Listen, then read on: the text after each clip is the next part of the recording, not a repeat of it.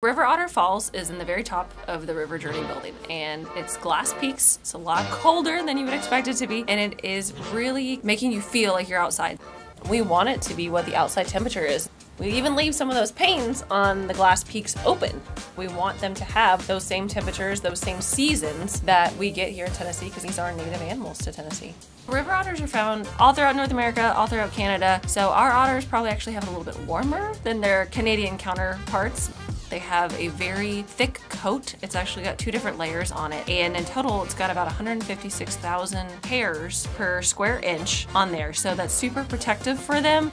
They're able to swim and frolic around just like an otter would do any other time. And if you see them jumping in the water, you might see some bubbles coming out. And those bubbles are actually just the little bits of air pockets that are slipping out from between those two layers to again just provide that nice waterproof seal for them.